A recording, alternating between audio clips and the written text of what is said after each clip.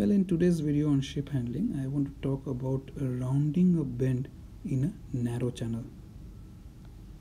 In the first case, rounding a bend in a narrow channel with the current from astern.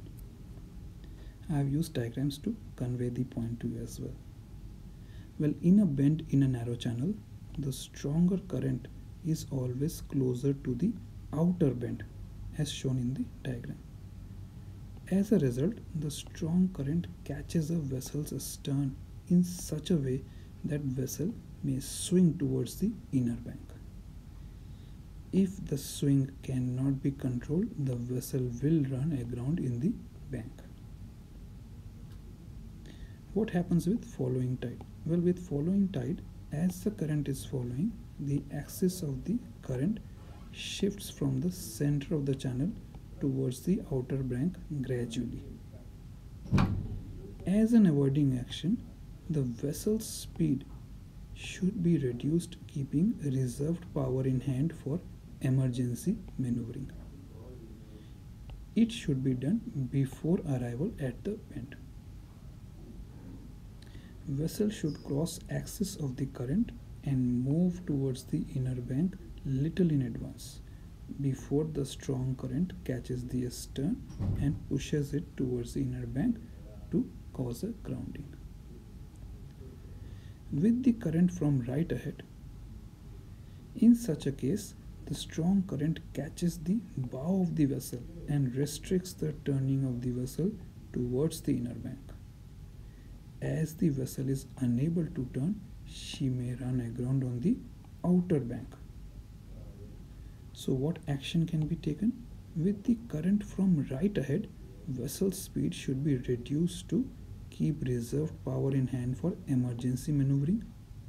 Moreover, the bank should be approached closer to the outer bank so that the bow cushion assists the vessel in turning. Rudder should be kept hard over and vessel's bow should be pointing always towards the inner bank so that the bow crosses the axis while heading towards the inner bank. By keeping reserve power in hand, it is possible to maneuver in case vessel seems to be getting out of control. Anytime a corrective helm can be given together with engines on full ahead to control the vessel. Now we go on to discuss how can rounding a bend happen with the help of an anchor.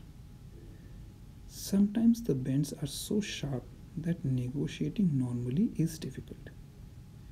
In such case, the bend should be approached at slow speed, that is minimum maneuvering speed.